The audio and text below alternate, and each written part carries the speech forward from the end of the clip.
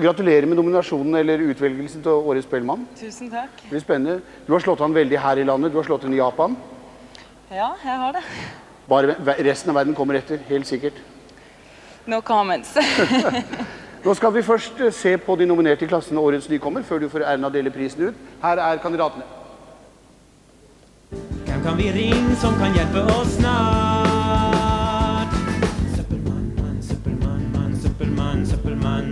Søppelmann, mann, søppelmann, mann, søppelmann, søppelmann, mann. Vi må ringe til en søppelmann, mann. I'm gonna make you crazy. I'm gonna make you sing. I'm gonna make you crazy. Everybody do your thing.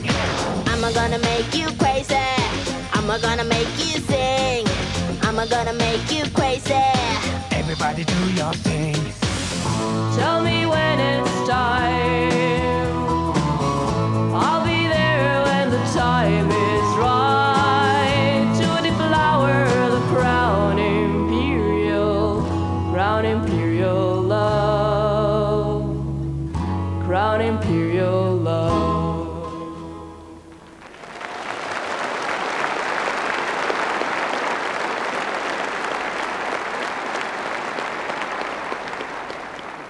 Ja, Trine, da er kanskje du så vennlig å lese juryen. Det skal jeg gjøre. De har vært Karin Westerheim, Geir Holmsen, Randi Misfjord, Petter Singsås og Anita Skorgan. Ja, og da er vi klare. Jeg er like nervøs som deg. Skal jeg holde mikrofonen for deg? Det går. Det går.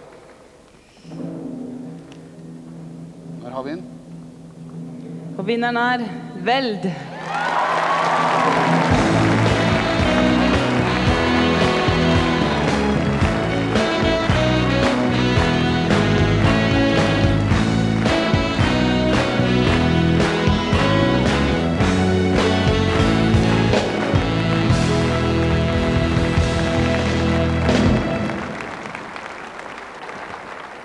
Så god. Tusen takk. Gratulerer. Gratulerer.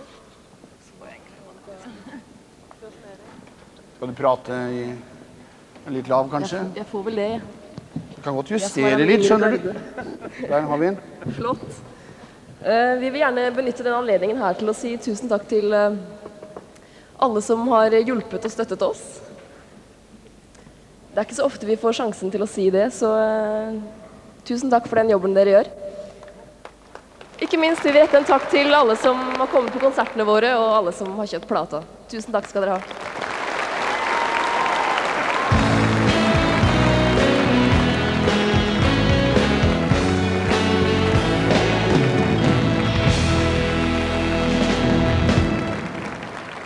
Ja.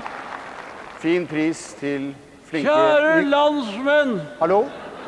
Med fruer. Hvor blir av kvinnen i musikken?